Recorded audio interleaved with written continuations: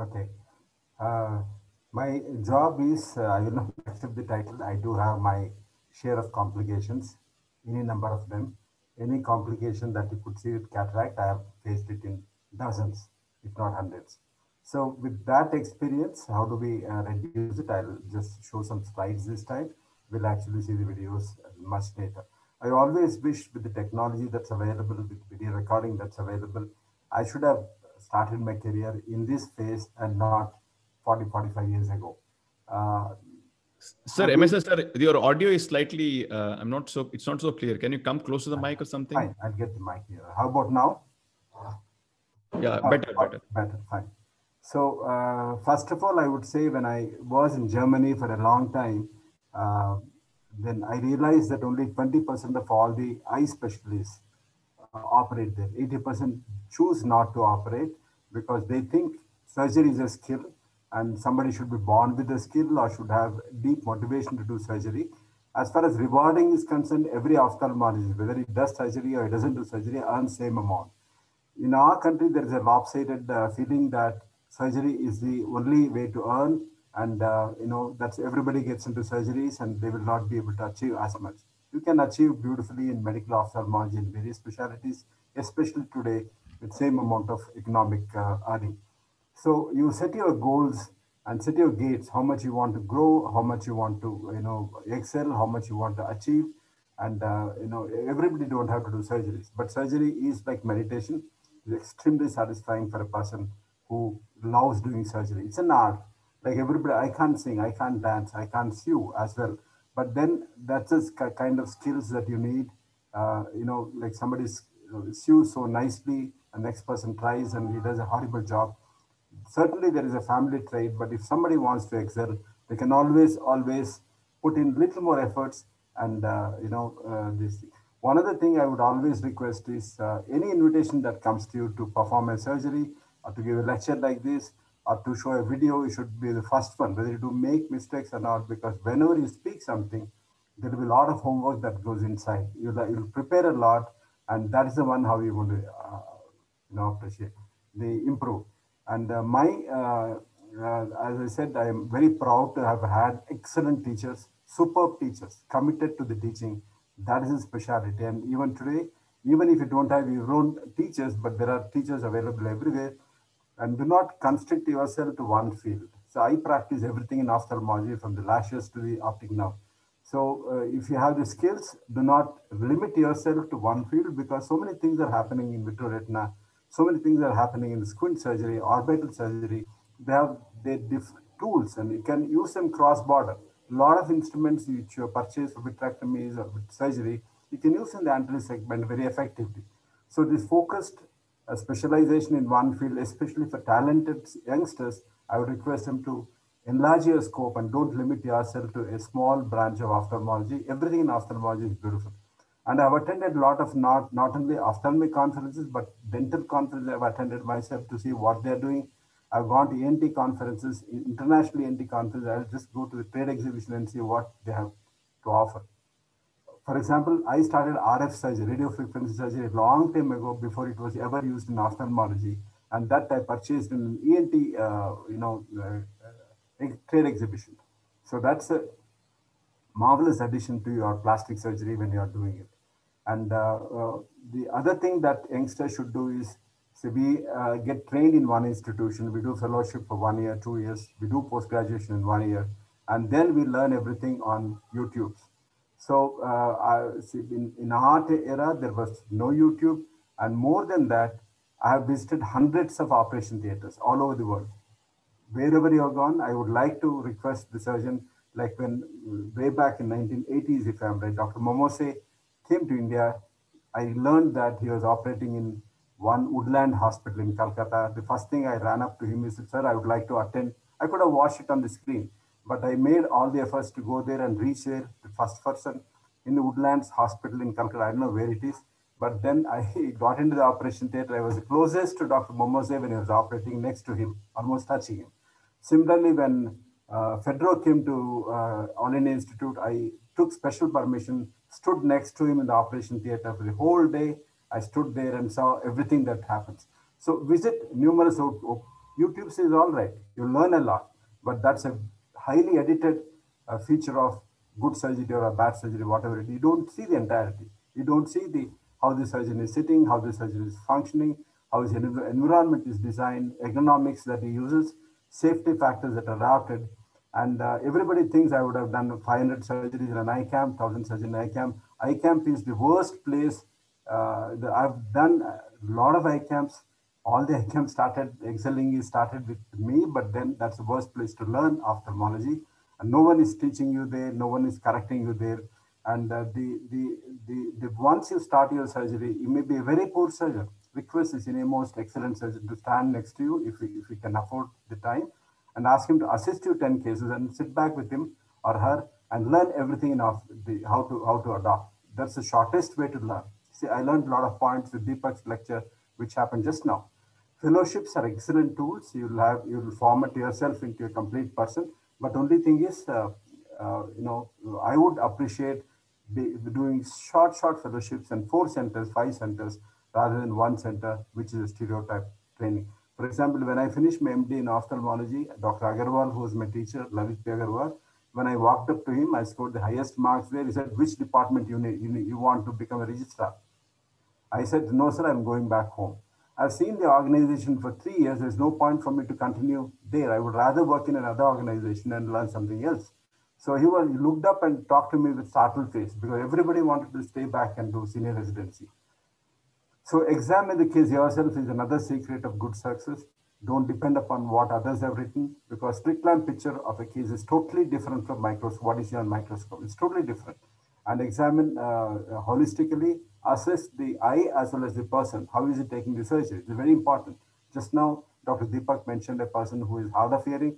Make a note that hard of hearing Many times we keep speaking in Kannada, so the person does not even know Kannada. Write the language the patient knows. So we communicate with the language that he is using it. Examine the eye with the dilated pupil and make notes and drawings of what all you see there. Go through the biometry. I'll give a small example, OPT3 scan and all, uh, all records. For example, we were uh, doing Barrett's uh, 2 for every case. We do an SRK2 and Barrett's 2. Suddenly, a couple of cases on the block, what's happening? So one of the new stuff who are 3.08, 2.8. So there's effective lens position matters upon a ray. So, uh, that's what you have to go through. If you err once, you come to a conclusion why it's happening. We analyzed everything. Then when we took the Barrett printout, then she, she should mention it. Leave it blank, but don't mention it. And uh, and cross check. You know, once you have injuries, have to plan, discuss with the OT people, and uh, hundreds of instruments in our hospital. In our purchase anything I want to surgery, it's available and uh, do mock emergencies. You may not have emergencies for a long time. Create mock emergencies and get the vitrectomy machine or get whatever you want and open it up and set it up. And you have a set time for, uh, you know, uh, like in, in, how many minutes you are going to take the uh, uh, vitrectomy into it. And uh, keep a complete set of backup lenses, full set of iris claw we have. Keep all sets with similar instruments. For example, you have 10 surgeries, one surgery has got a very sharp keratome, next one has got a very blunt keratome, you will end up in serious problems. So if you want to change instruments, change all of them together so that they're all equally sharp or blunt at some point of time. Trial and emissions, and uh, for example, I don't want to tell you details. There are Luer lock syringes, there is syringes with silicon bunk, there are regular syringes, all have different characteristic features, all have different uh, functions.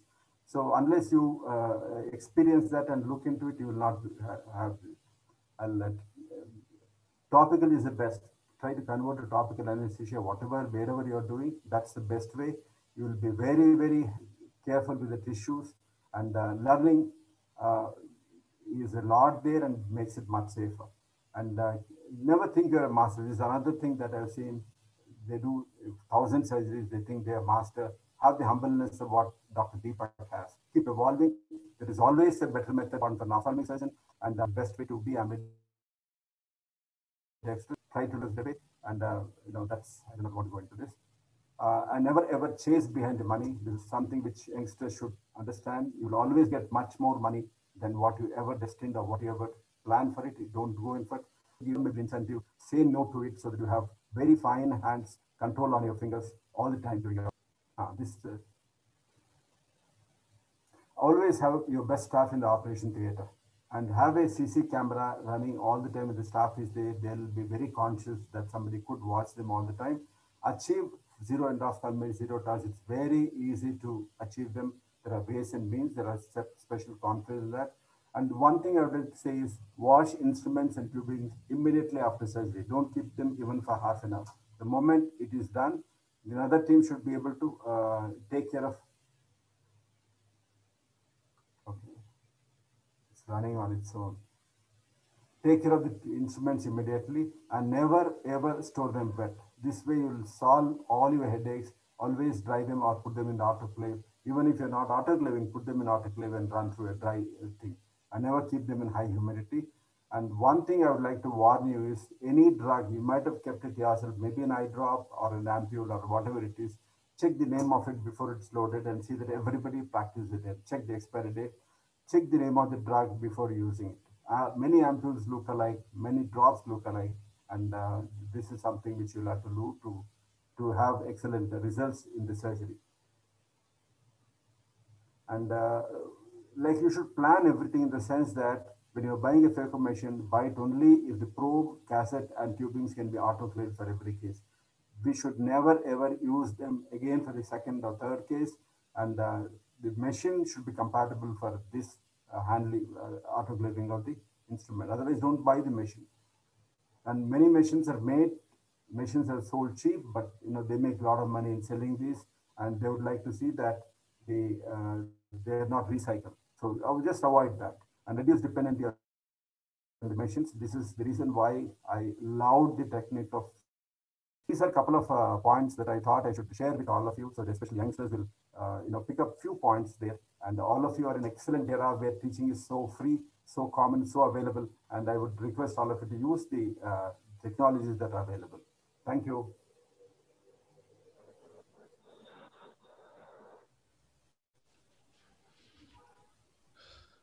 I can't. Yeah. yeah. Uh, so should we go to the case presentation now? We can. We can, I suppose. I think let's keep the question and answer session at the end of the this thing. You can just write down the questions on whatever you would want to ask. Anything regarding complications, uh, we'll try to discuss them at the end, I guess.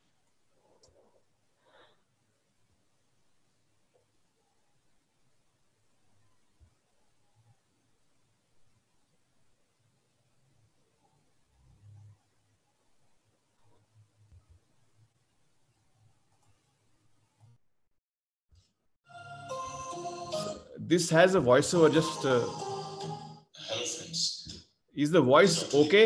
Is the voice okay? Voice of the computer?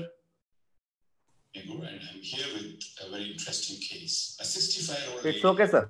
We can we can make out. Or i would would want me to my speaking is better this is all right? The speaking is better.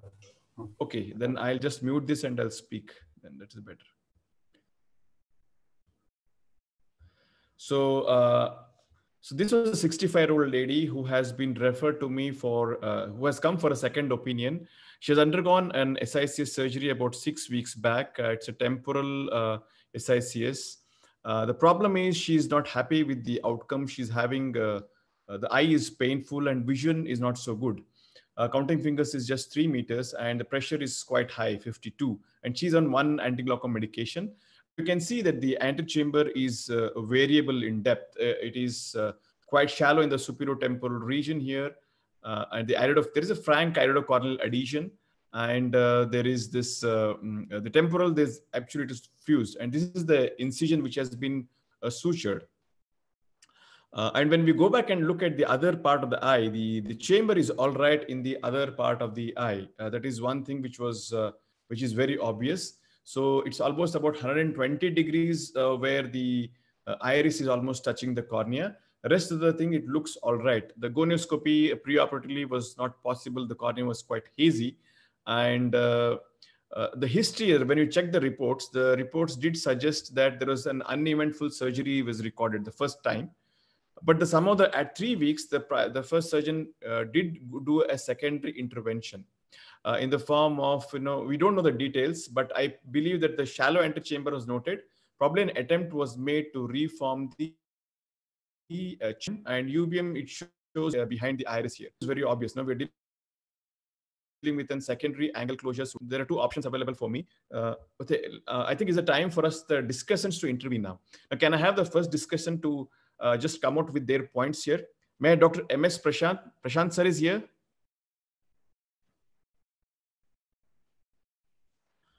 Uh, if he's not here, then maybe we can go with Dr. Sheetal Ballar and then uh, we can see. Hello, can you hear me, sir? Yeah, yeah, sure, sure. Yeah.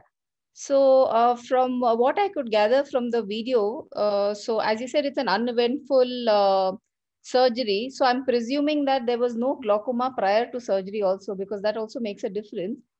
So this uh, post-surgery uh, shallow anterior chamber, from what I can make out from this, is it goes more in favor of a malignant glaucoma probably and uh, there is uh, sort of a defect in the posterior capsule if I've seen it correctly in the video. So I'm presuming that the primary surgeon tried to tackle it by either doing a YAG or a, probably a surgical opening of the posterior capsule in order to tackle the uh, malignant glaucoma. And uh, that could be the reason why there is a partial formation of the anterior chamber. Um, but uh, probably it was long standing and the synechia uh, were not completely released. So from the uh, slit lamp examination, uh, I cannot make out the nasal part too well, whether it is an open angle completely. So probably a long standing peripheral anterior synechia is preventing the intraocular pressure from coming back to normal. This is what I could make out from the video. So, okay. sir, uh, was there a defect in the posterior capsule? No, uh, there was something like that. A round uh, shape was there, but in the uh, preoperative examination, I was really not sure because the uh, I could see it in the retroillumination. There was some round opening. My guess was, was it an anterocapsular opening or a posterior capsular opening? I was not clearly able to differentiate uh, at the slit lamp because there was no rim of the capsular margin which was covering the lens. So I was not sure because the lens was kept in the sulcus? Is it because of a the anterocapsule is small or posterior opening has been done? It was not very obvious for me. But what was obvious was this, this part of the chamber is quite well formed. Okay. This part of the chamber was quite well formed. And this is the area where it is obscured. Okay. So uh, fr from what I could gather is the, uh, the procedure could have been to uh, probably tackle the malignant glaucoma is what I uh, presumed because this is almost six weeks uh, post procedure with an intervention midway. Okay. So you, uh, okay, thank you, Dr. Sheetal. Is there anything else you want to add? Uh, also, the iris details and the other option, the other uh, point I wanted uh, was more details on the iris. Could it be a neovascularization, neovascular glaucoma? No, it wasn't there. It wasn't there. No neovascularization. It wasn't there. It wasn't there uh, and as you said, the UBM did not show any haptic, uh, which was uh, sort of pushing the yeah, yeah. iris forward yeah. or vitreous behind. Okay. So, my so, take is all these go in favor of a malignant uh, glaucoma. Now, how would you manage now? Okay, primarily I would uh, try to probably it is though it has already been attempted medical management would probably be the first thing i would attempt uh, which is your hyperosmotic agents, the aqueous suppressants, cycloplegics probably. Uh, she was not on cycloplegics, I'm assuming. So if this doesn't work, then uh, probably in this situation, a pars plana vitrectomy would uh, help. Okay. Okay. Thank you, Dr. Sheetal. Is there something else you would want to add? Mm. Okay, done? Yes, sir. Okay, fine. Dr. Ganeshwar, uh, are you in? Uh, yes, sir. Okay. Please uh, just give a. I know it's a very, you know, just looking at the intersegment picture is slightly difficult to tell and all those things. Just for the sake of discussion, you can just uh, let me know your opinion. Uh, yes, this has happened as a secondary angle closure glaucoma post three weeks, as per the history that has been suggested. But uh, to say it is malignant glaucoma, the AC should be uniformly shallow and we make a diagnosis of malignant glaucoma only after a patent PI is there. So here, I'm not seeing such picture or the secondary intervention what that surgeon might have done, whether he has done a PI, it's not there here. PI is So- not visible. PI was not It's not- visible. No, not visible. Okay, because cornea is uh, hazy. So my take home is that uh, now I'll think it as secondary angle closure glaucoma. Maybe I feel that uh, the surgeon might have placed the lens in the sulcus. There might be some vitreous disturbance, and then that has caused uh, secondary angle closure glaucoma. And uh, I just want to put the patient on hyperosmotics make the cornea clear, reassess the case. And uh, I feel that whatever the rim that is there is the uh, maybe the anterior capsule rim over which he has placed the lens. I want to confirm it only once the cornea clears up. Uh, my idea is to once the cornea clears, I want to do a small PI through the crypt that is there and try to do a hylerotomy, whether it works or not. And uh, if that doesn't work, then I have to consider that uh, to take it as malignant glaucoma and do a pars plana vitrectomy uh, to create a channel between the posterior chamber and the anterior chamber. Okay, This you want what- to just break the hyalur hyaloid by YAG capsule and then see. So even Yeah, PI, through the PI, through the PI, through the Yeah. small PI, the crypt is there. Okay. Make the cornea clear and uh, through the PI, try to do that as a first sitting, and But- then go ahead if it, that is not working. Okay. Okay, done. So you want to create a posi- uh, peripheral iridotomy and then you want to try hyalotomy. Yes, sir. Yes, sir. Because uh, if the lens is placed in sulcus and if there was a vitreous disturbance, there is definitely a chance of pupil block glaucoma happening. Okay. So That's what I'm thinking. Yes. sir. okay, done, done. Uh, I think Dr. MS Prashant sir, are you there? Think if he's not there, uh, I'll ask Dr. Sundaram Shetty sir to comment. We want a comprehensive ophthalmologist to comment. I think these two people are glaucoma experts, so we'll have an opinion of a comprehensive ophthalmologist. Can you show that uh, UBM picture again?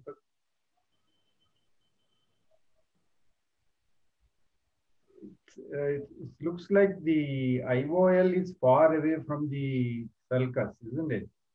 IOL is here, haptic is here, Yeah, the ciliary body is uh, somewhere there. bond. It is uh, the iris is like this. It's here. Yeah, So what The haptic is not so very well seen, sir. Actually, but the IOL plane is seen here. Actually, Yeah, considering the size of the IOL, haptic has to be somewhere, you know, where the that line is ending.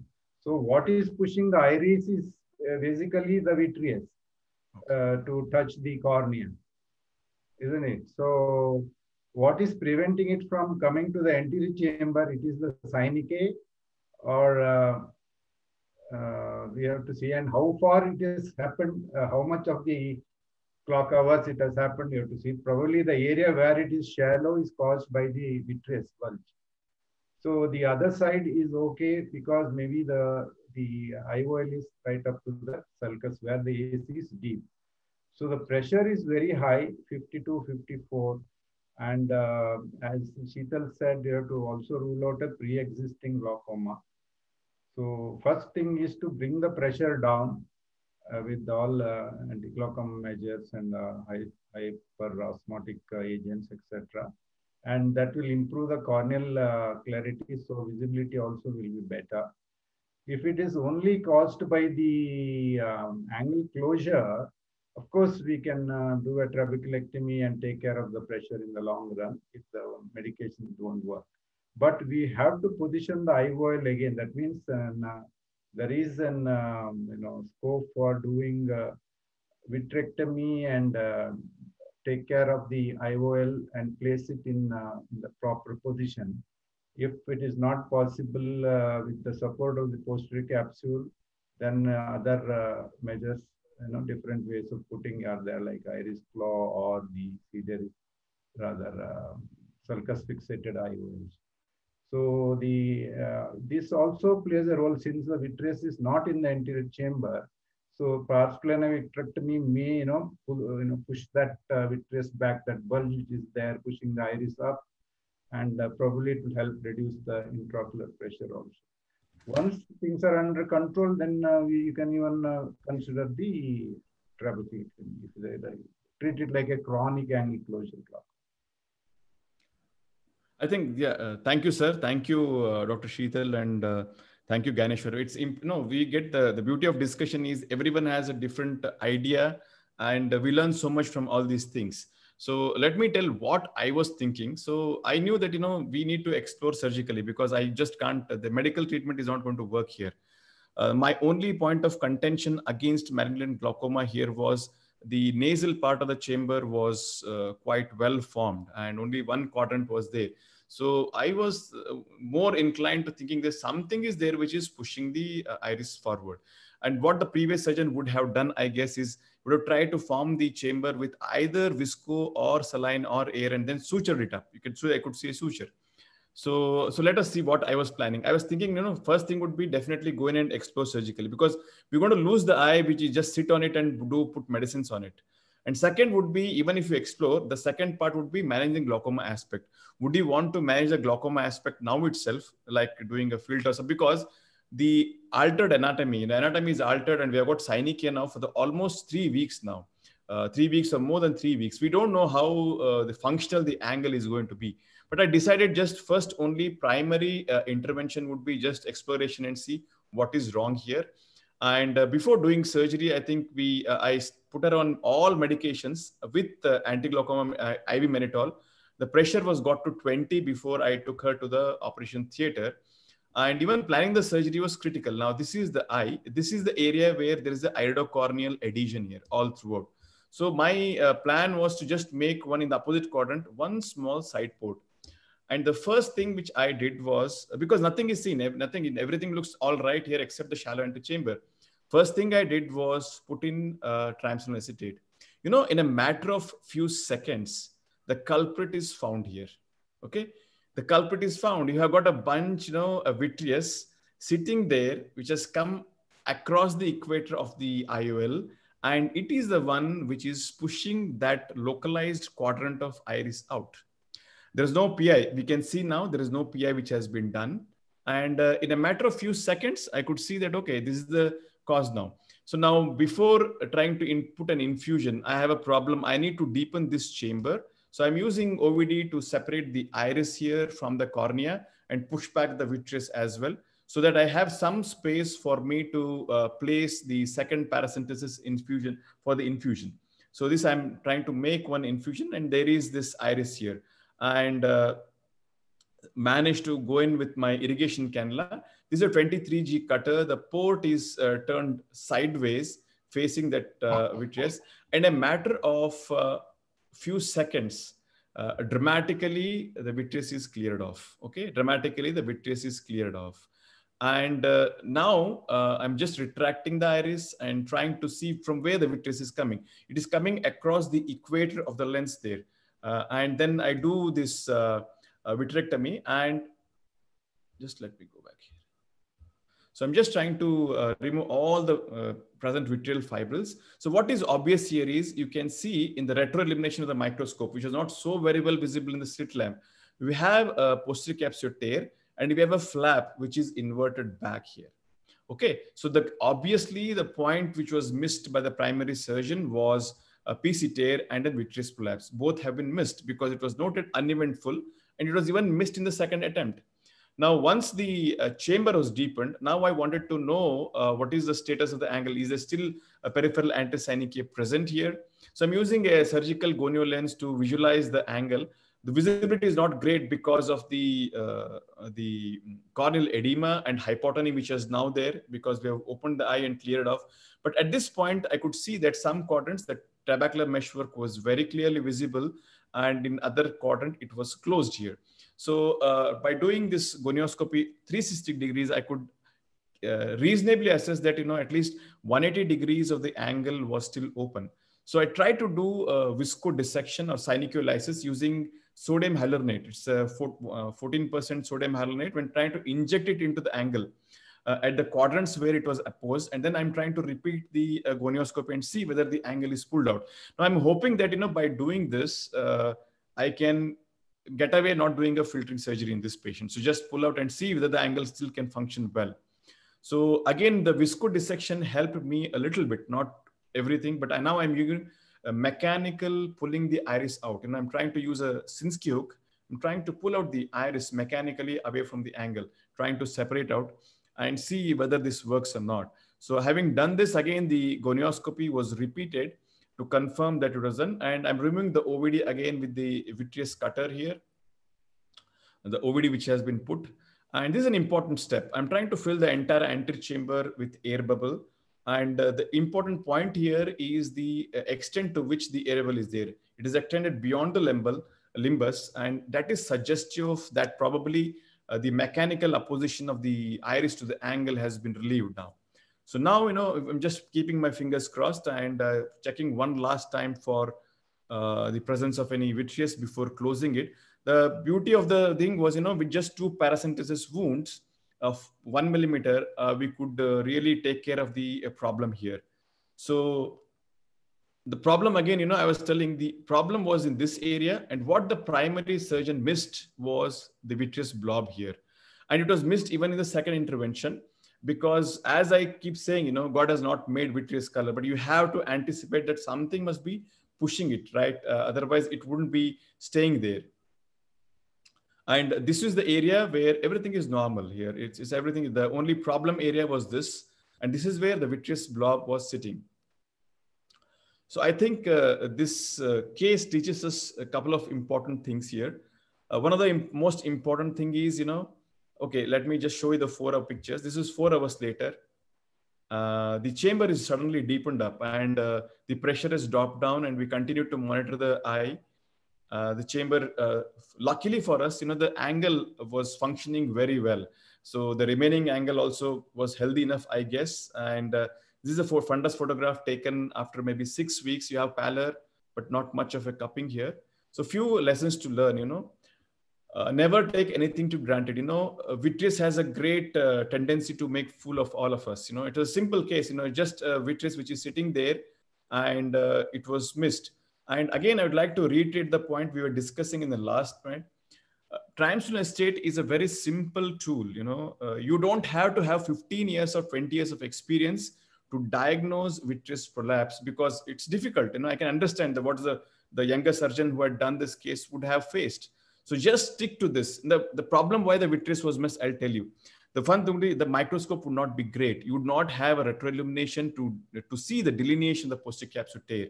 And then you think that, you know, the lens is sitting very well, lens is not decentered. And that's the reason there's no vitreous. That was the conclusion which was probably drawn by the first surgeon because that was it. So unless and until you use a device which is so easy to use, use this triamcinolone acetate to identify or this mysterious, something like a hidden ghost, you know, just put this thing and just it shows up. So that's the thing. And in any case of secondary glaucoma, early surgical intervention is critical. You just just can't sit on that case and put medicines. It's not going to resolve. And lastly, it would be like you know uh, in secondary glaucoma, try to find the cause, whatever it could be, malignant glaucoma or vitreous like this, you know, find the cause and treating the cause is extremely critical here. Uh, thank you. Uh, let's have discussion on this case. That was it. So it's very difficult, you know, uh, the, to try to come to some conclusion looking at a, a clinical picture, just a clinical history and picture. But keeping all options open uh, is one of the ways to deal with this. Sir, sir uh, why why you didn't do the surgical iridectomy, sir? What made you to? Iridectomy, uh, I didn't do. I didn't do iridectomy. Why, why, sir? Why, why? What made you think that iridectomy is not required? No, I thought the cause was very obvious there. I thought the cause was very obvious for me, and uh, the vitreous was causing the problem. So, hmm. and uh, um, I did not expect pupillary block uh, block glaucoma to happen in this patient after the vitreous was extremely well taken care of. So that was my idea of uh, not doing uh, uh, iridectomy. Although there is no harm in doing it, I agree with you. I could have done iridectomy, but maybe at that point of time, I was very clear that what I would really caught the culprit. So that's it. Nothing else can go wrong. That was my thought process then. Right. The uh, remaining part of the angle was open, Deepak. Yes, sir. It was open, but I couldn't do gonioscopy pre-operatively. No, uh, the, then what made the eye pressure go up so much? I was going to ask the same question. Yeah, but I think you know it may be compromised to a certain extent. It may not be you know functional very well. It was although it was open, maybe the patient had a some format outflow facility. When 180 degrees is closed, then maybe it was uh, uh, it, it the, the functioning of the outflow facility dramatically went down. That's what I should guess. Uh, It is a because type of- it is a type of pupil block glaucoma only because vitreous is causing the pupil block there. yeah, so uh, yeah, you just take care of the vitreous there. You just take care of the vitreous there. Correct, correct, correct. But uh, anytime again, that vitreous can herniate to the same area, or there can be a misdirection because the zonules are not there in that area. No, no, zonules are there. There was a, only a posterior capsular tear. The posterior Because capsular tear was there. Zonules were everything. I think it was there because the, the lens was sitting quite well. It was not an issue at all there. Because uh, uh, I agree with you with all the aspects there. Because debate, it's a debatable thing. Because I have a case where on table there are some zonal dialysis. Lens was placed in the bag. That patient had a secondary misdirection, and we had taken the case for vitrectomy, forming a channel from posterior to anterior chamber, and I did a trab also. Yeah, see, all those things are agreed. Aqueous misdirection happens in a predisposed eyes, and you're you're justified in thinking when you're not able to find any obvious cause. Uh, Yes. We have an obvious cause here. Okay, Uh, so we'll treat So the my- obvious cause here first. My my my my just uh, point is that that iridectomy will prevent further such attacks in that eye. Yeah, yeah, granted. Yeah, agreed, agreed about that. An iridectomy, doing an iridectomy would not, would not do no harm for this patient. Agree upon that. But this is a pupil block glaucoma only, sir. Yeah, vitreous it- vitreous is the cause. Yeah, but you know, if you do only iridectomy in this case without doing vitreous, uh, without Yeah, correct, vitreous, correct. it's not going to solve the problem. The Correct, problem is with the vitreous. So iridectomy may or may not have a role, but primary role is deal with the vitreous first.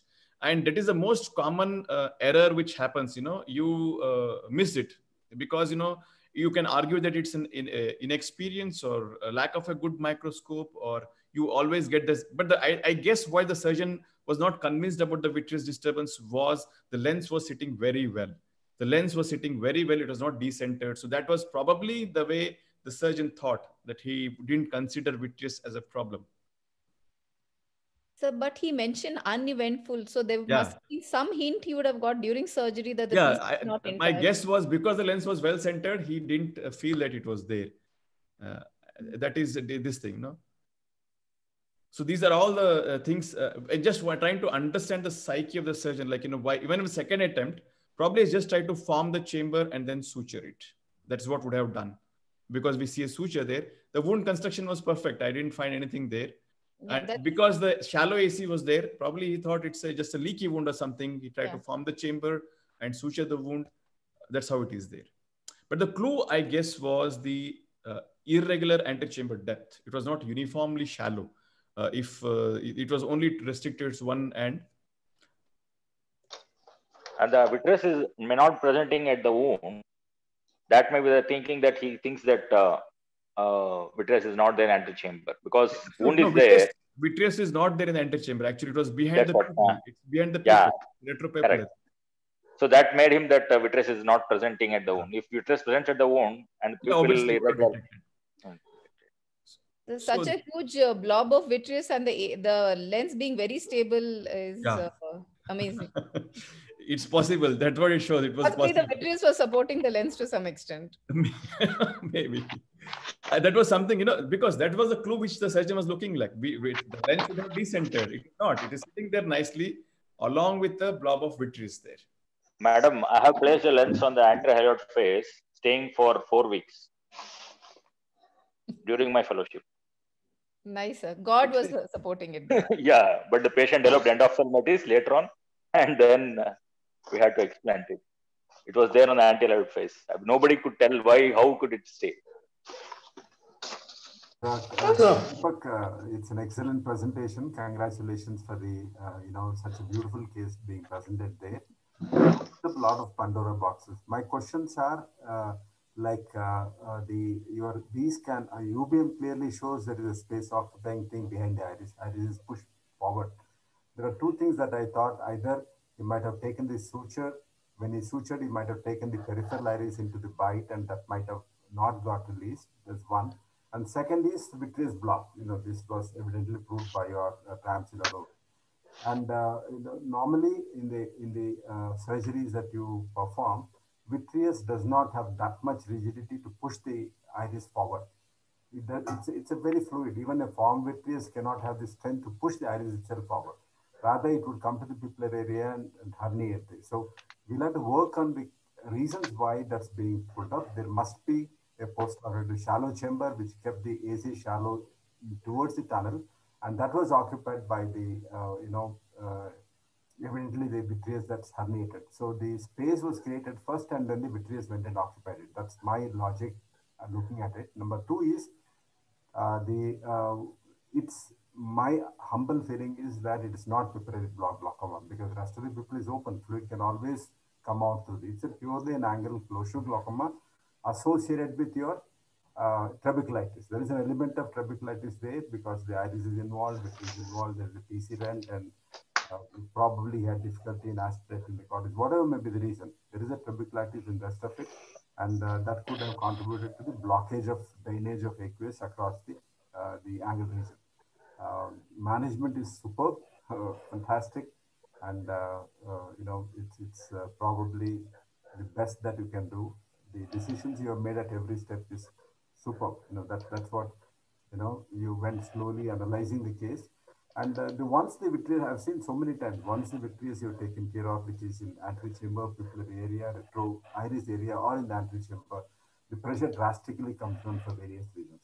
Your trabeculitis might have been treated by your alone. It itself will reduce inflammation, and the drag on uh, you know the vitreous base is minimized here which reduces the secretion of prostaglandins. That also will have a beneficial effect on the inflammatory control of the uh, anterior segment. So these are the few points that I would like to, uh, you know, express my thought process. Excellent point, sir. I think I'd just like to go back again to that. You know, uh, I was contemplating to combine the glaucoma procedure, but there's something common sense told me that it's not necessary. You know, always the lesson in this case would be treat the cause first. You give some time for the outflow facility of the eye to rejuvenate because it's a temporary occlusion which has happened. It could be mechanical closure. It could be inflammatory closure. So many things are functioning. So first restore the anatomy. First restore the anatomy. Three to four weeks after surgery, I would not do, uh, you know, it's not a permanent. Yeah. So again, so just try to treat the cause. No, just try to reform the anatomy, restore the anatomy as we have been discussing, eye has got a great capacity to heal. Just monitor it closely, you know, because the mechanical opposition inflammation itself could be blocking the outflow. Once you release that, wait for it to settle down and it dramatically settled down. I was very skeptical about the pressures going back to normal because the although the it has suffered enough uh, insult over the last period of few weeks, but still, you know, patient is not on any medications. Just the restoration of the anatomy of the angle just worked wonders for it.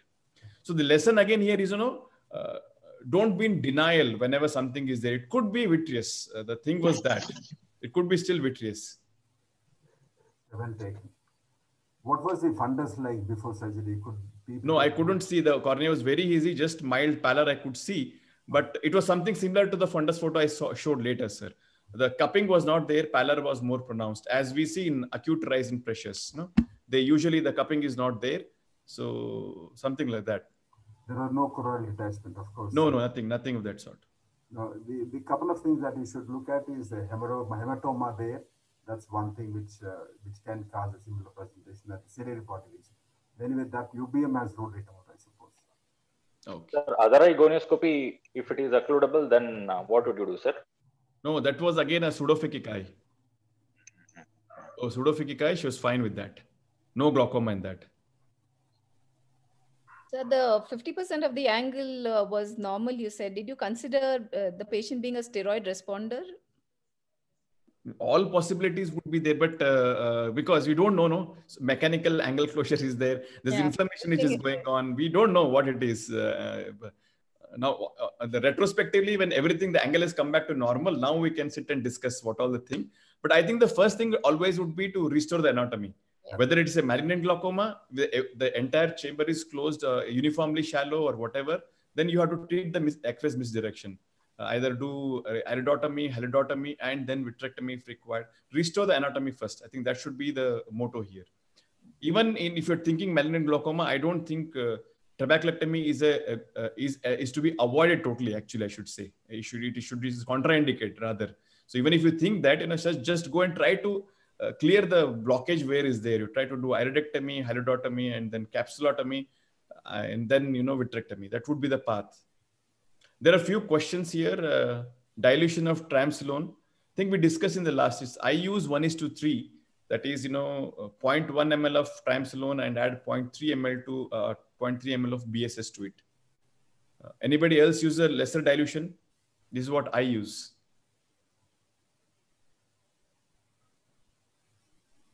No, overall, it's the quantity of triamcinolone you're injecting. There is very little space there. Even if you inject more, it will come out of the eye.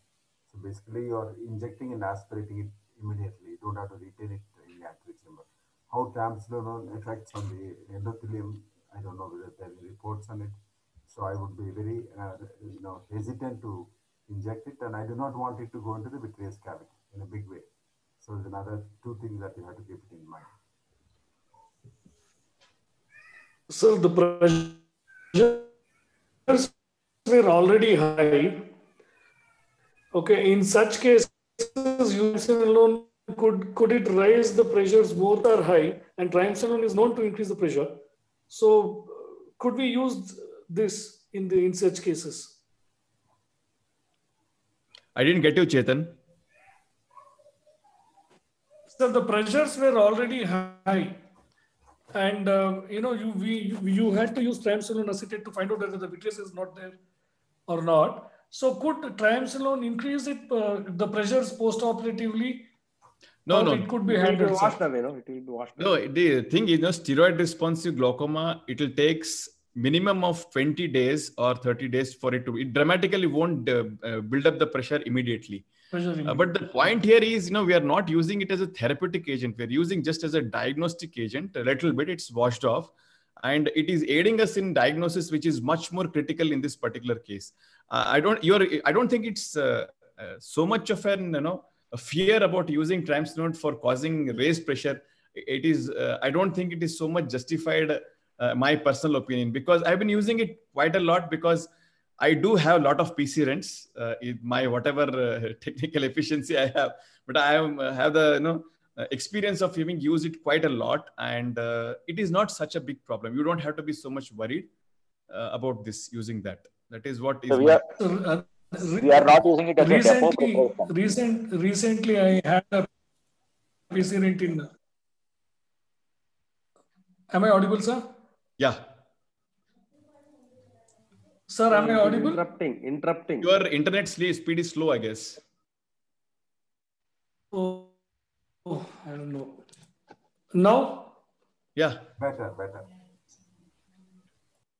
So recently, I had uh, a case uh, where I had a patient in uh, a patient who's uh, a known glaucomatous patient, very small palpebral uh, fissure, where I could not, uh, you know, do it under block. I did discuss this with Ravi the other day, and uh, I was very skeptical of using uh, a triamcinolone acetate in this patient because the pressures are high. Very with great difficulty, I've got the pressure down.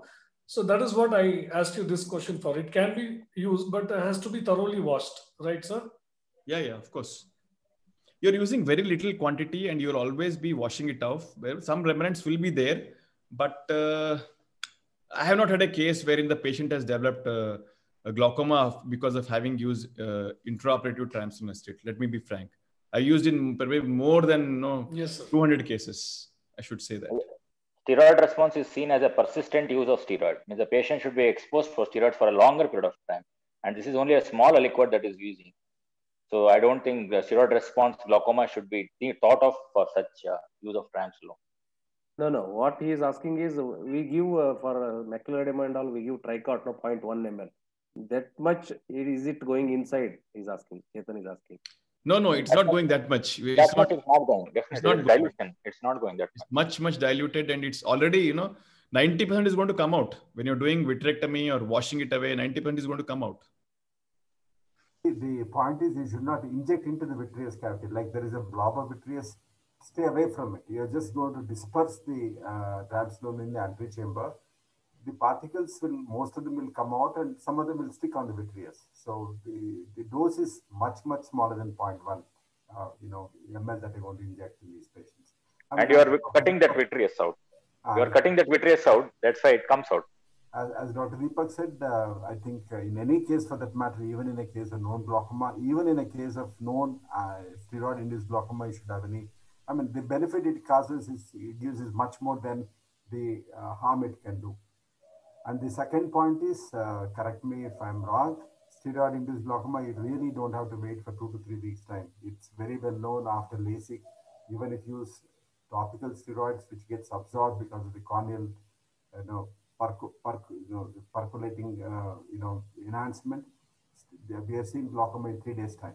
Three days of topical medicine, the pressure can go to 40s and 50s.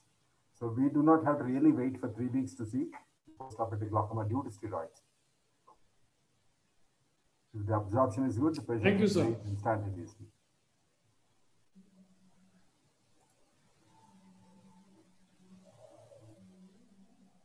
Deepak sir, Yeah. that SF6, uh, uh, where it is available and how to prepare it on the table, how to keep it ready, This Descemet detachment, Yes. Uh, SF6 is available with. Uh, cardiac care. That uh, one, one, no, one I get it from the Shard distributors. I get it from Shard distributors. The Aurolab dealers are there, no? Aurolab dealers. Yes, yes. This place, Davangere.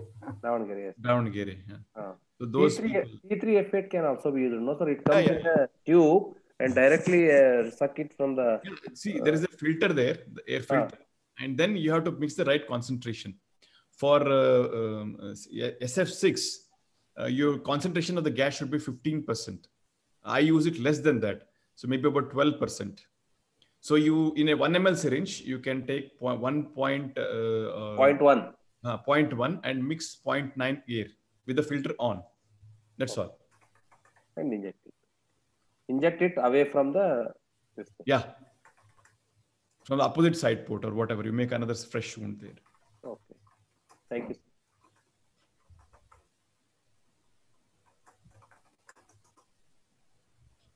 Deepak Uh, sir, is, yes. uh, I want to know how do we check this, how the vitrectomy instrument is correctly working beforehand? I think uh, that's a very valid question, very important question, and the most common error which happens because you don't get to use the vitrectomy cutter daily. And one fine day after say, uh, two months, you want to this, usually you'll find either it will not be sterile, will not be functioning. So you need to have a process wherein you you these are called contingent or emergency instruments. You at least check it once in three days or something whether it is functioning or not. More the times the ETO date would have been over or autoclave date would have been over. Re-autoclave and keep it. A process has to be in place. I think there's nothing one simple trick. You have to check it yourself. As Dr. Ravi was telling, he checks all the instruments every day before the box. Even if you do every day, every three four days at least you should do once. the, these have to be in a separate box and. Uh, uh, ensure that they're functional and sterile. These two things you need to be careful. You, always you can check it, you know, by connecting the instrument. Even if with me happens, you know, we have uh, uh, re-sterilized instruments. Once you check it, you so one one vitrectomy cutter is not working. So always you need to cap, uh, put in at least you know three four spare cutters readily available. Invariably, you have one of them will not be working. And check it in the, under the microscope with a saline in a bowel and press it. The movement of the this thing you can see it there. This thing, and you have to see that it is uh, uh, suction is also working.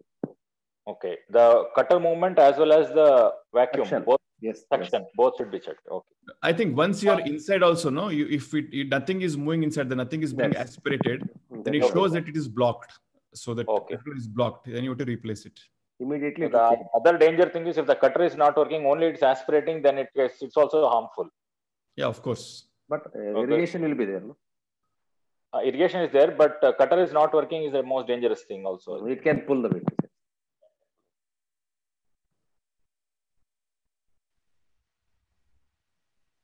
Uh, Doctor uh, Megur, have you ever thought of in this particular patient after you saw vitreous, instead of doing vitrectomy from front, did you ever consider doing a pars plana vitrectomy? What are the benefits and pros and cons of doing a pars plana vitrectomy, going that area and pulling the vitreous backwards rather than you know pulling it forward? Uh, would it make any difference? Yeah, uh, the once I made a pa- initial paracentesis, sir, and uh, if it was not uh, because sometimes transannular migrated vitreous can be difficult to access through anteriorly. You really that was my thought. Uh, so I had a backup plan ready. If this is I'm, this is not going to be clear, then I would want to go pars plana. the first thing I why didn't, didn't want to go to pars plana, let me see what is wrong. So we just wanted to confirm. And once I went in in the anterior route and it was very much clear, I could have access to it and its visibility was great.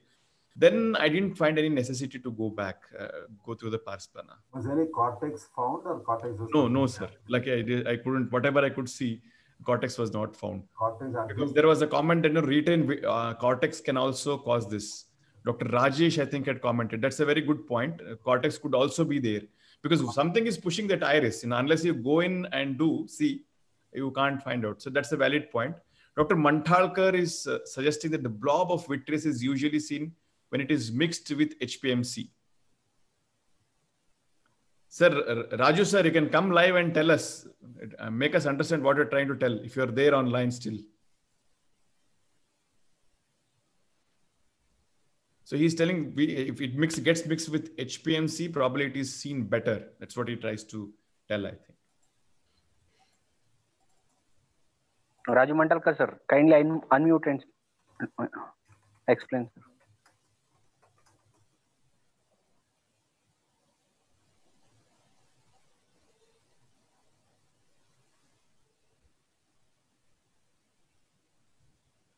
Dr. Jignesh has commented that could be a tilted lens in the sulcus. Uh, I think we had few of the uh, the uh, we had discussed about this. MSR sir, is it possible for a tilted lens in the sulcus? A tilted lens in the sulcus uh, lens itself. See, the, when the capsular bag is collapsed, there is no cortex inside, and the anterior capsule is few, few micron thick. And uh, if I mean, even if one haptic is in the sulcus and other haptic is in the capsular bag, there will be decentration rather than a tilt. For a tilt to occur, there must be a push from behind or a pull from front. Cortex or a vitreous or something has to be there or something is pulling it from front. Tilt, to explain a tilt caused by uh, placing it in, in uh, sulcus itself is very, very difficult to uh, understand uh, you know, visually there must be something pushing. Like UBM was characteristic. There was a space occupying thing right behind that. The very characteristic, feature. It can be a focalized malignant glaucoma, ciliary, ciliary body rotation segmentally. It can happen. Ciliary body can rotation can be segmental. It cannot be 360 degrees. And uh, vitreous was the first diagnosis there. Vitreous is transparent, and a fresh blood. Fresh blood is a echo translucent if there is a bleeding there, it can be very clear. You don't have to see any spikes there. Only clotted blood will have the spikes. It can be a blob of fresh blood. These are the options that you have there. And UBM is a great, uh, you know, uh, tool uh, Dr. Deepak has used in this patient. Deepak sir, instead of UBM, can we use the OCT entry segment OCT for uh, angle behind the iris? It will not go. No, sir. No, no. No, Behind no, the iris, it it won't. won't go, no? It It won't. won't go. You can actually use the A scan. All of us have an A scan. Uh, all of us do A scan with the probe straight at the center. Take the A scan to the periphery. Spikes, spikes you can Uh, see. yeah, spike. You can see the spikes.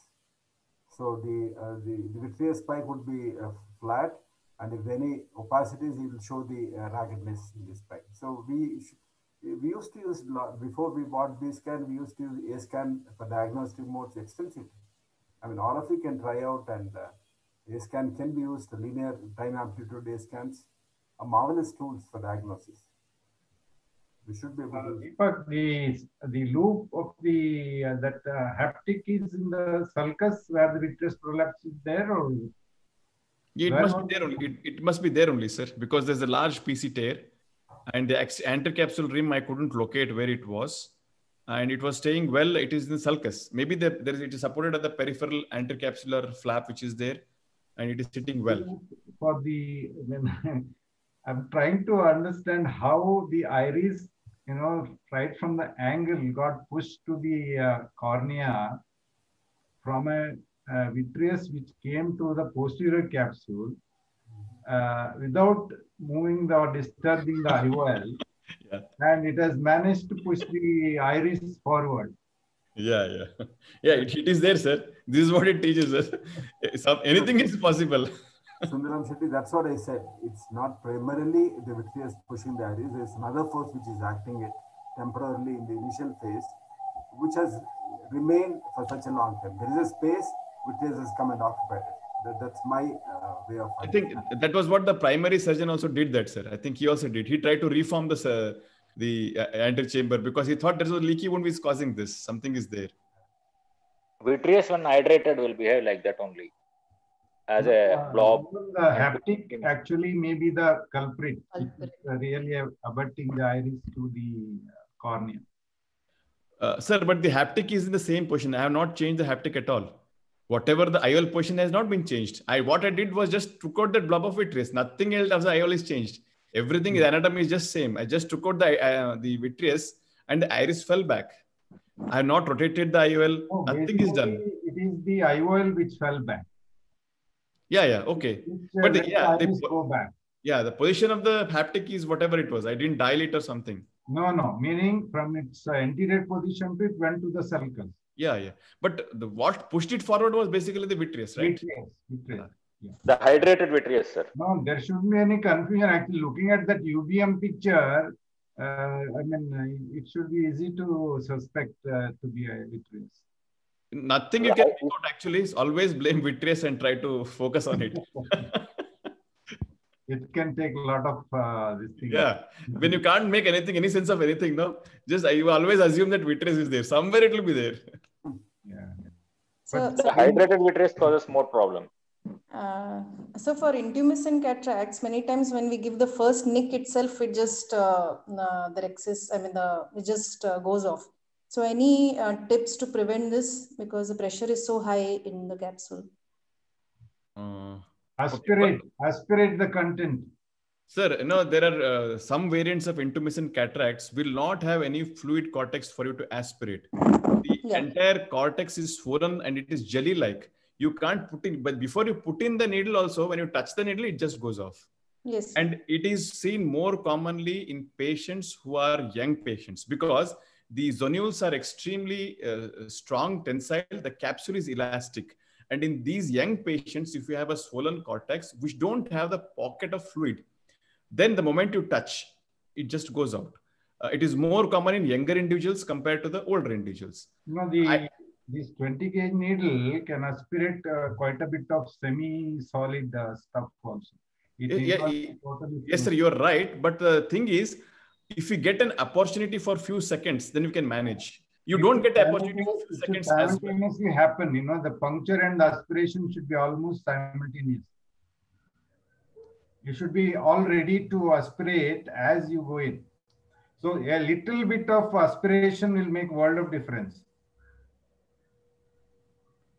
But anyway, my experience has not has been otherwise. I have a series of these Argentinian flag signs, and in my series, I have found out that the high risk factor is the younger age group patients, and who has this uh, swollen, uh, much more thicker cortex. Rather, not the if you do OCT for these patients, lens OCT, you don't see the pockets of fluids. Pockets of fluids are there, then you can plan to aspirate and with a needle and all those things. Uh, and in these patients, you don't have a, uh, uh, the, the- if you get an opportunity to do a small rexis, if you get maintained for maybe two, uh, a minute or a half a minute where you can complete, then you can do it.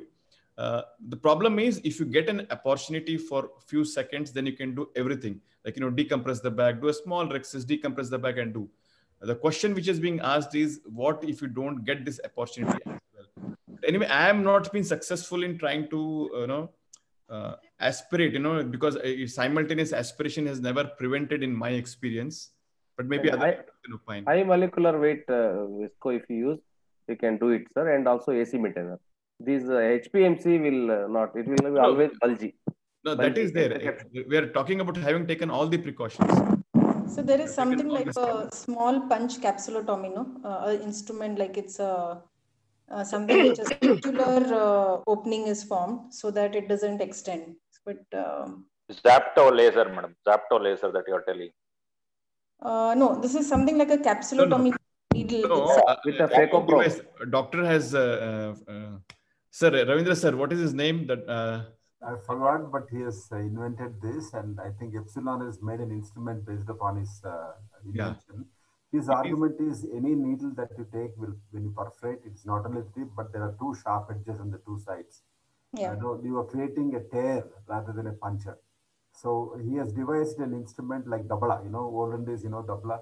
We used to stitch bags with that, and it That's doesn't what have sharp edges. It's it's a very fine instrument like a needle they have created. Like a sewing needle. Yeah, it is called a sewing needle. it's It a sewing needle only. Ah, and then you perforate it and it, it makes an opening, but there is no side cuts for it to penetrate. So with that, they, you know, they have been uh, very successfully uh, done the capsulotomies, initial small capsulotomy. After that, you, you evacuate the contents and then you, you do a regular capsulotomy as a secondary procedure around this.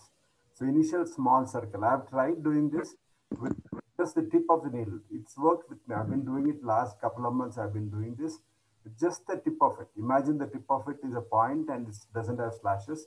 Just touch it and uh, it's luckily it's not going to the periphery. I can complete. I think I've shown some video last time, and I could complete uh, two or two millimeter, three millimeter X's with that multiple one, join them, and then uh, remove it and then depressurize it, and then we'll create another opening.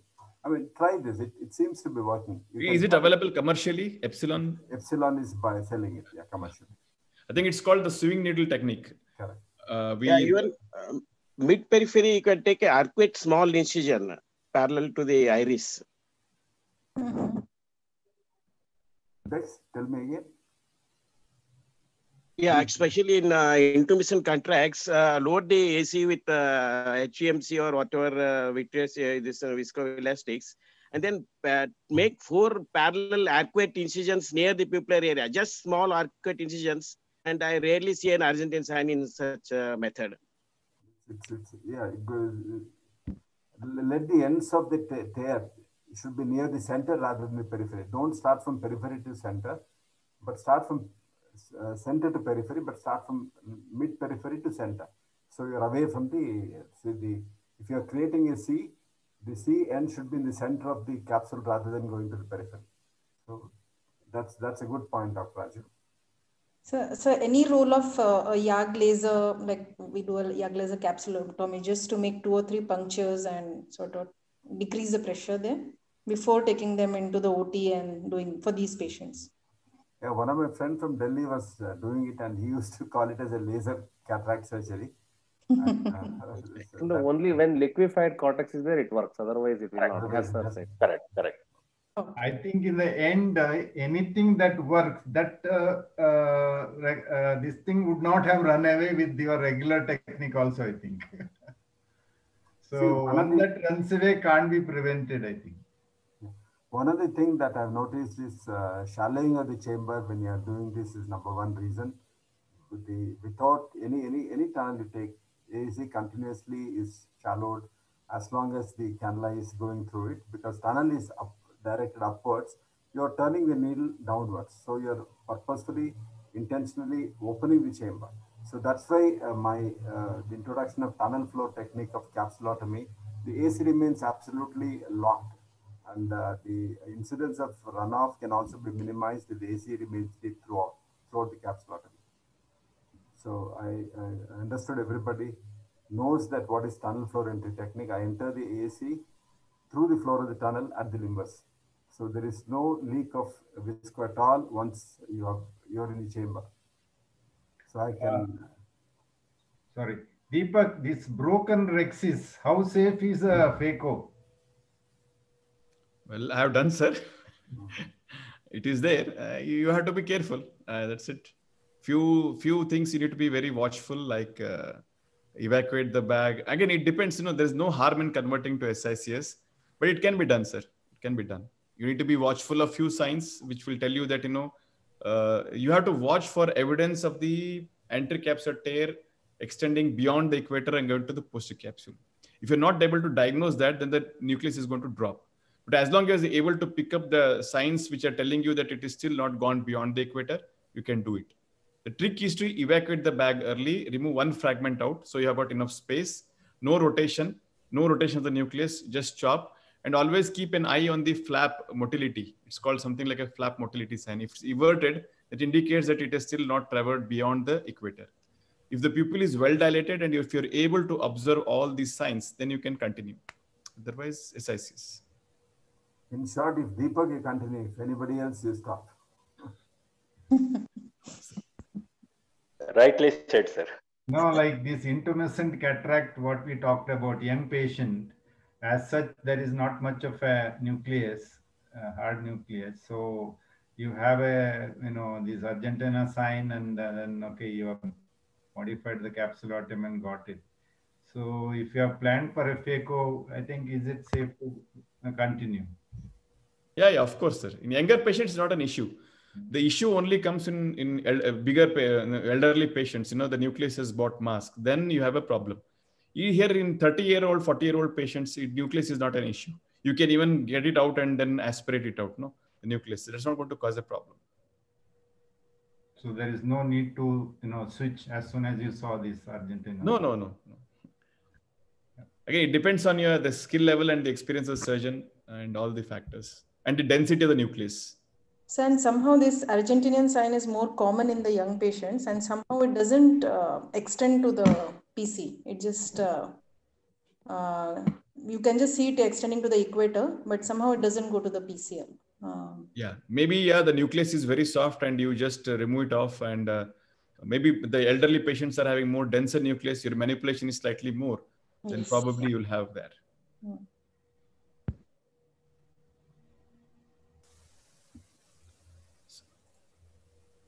Sir, I think we are 1050. Should we close? So this, I think this COVID effect and everybody wants to each other's face. All right, thank you very much. Dr. Pradeep, uh, would you like to close the session? Yes, sir. First of all, I would like to thank all the speakers who have enlightened us with their enormous knowledge and shared with us. As Seetal ma'am said, failing to plan is planning to mm, fail. So better plan before surgery by thorough slit lamp examination and look for finer, uh, minute details. As Sundaram Shetty sir said, learning to be in the present is a uh, is a key step and be present at each minute i mean each steps what we do and as ravi sir said there should not be any overconfidence and if you have any complication accept it and identify the complication as early as possible and manage accordingly and this group is benefited and blessed with to have a senior and mentor like msr sir ms ravindra sir who has broadly explained right from the pre-surgical evaluation, aseptic precautions, and post-operative complication management. And yet, he's so humble that he says, "You can never be a master." So we should always be thinking that uh, we are not a master in surgery, so we should be in a learning phase. And as Deepak sir has mentioned, is uh, the causes of complication, and he has classified nicely as skill based and non skill based. I think we should publish this, sir. Uh, the skill based and non skill based uh, causes of complication. And I also request all on all as Deepak sir always uh, stresses on record your surgeries, analyze your each steps, and why did the complication occur? How could you have prevented, and how could you have managed well, so that we turn out to be a better surgeon. And lastly, we all have got a quest for excelling ourselves. So this should be a, a lifelong process. Thank you. Thank you, Pradeep, for highlighting everything. Good night. Good night, sir. Good night. Good night. sir. Good night. thank you, sir. Thank you. Thank you. Bye.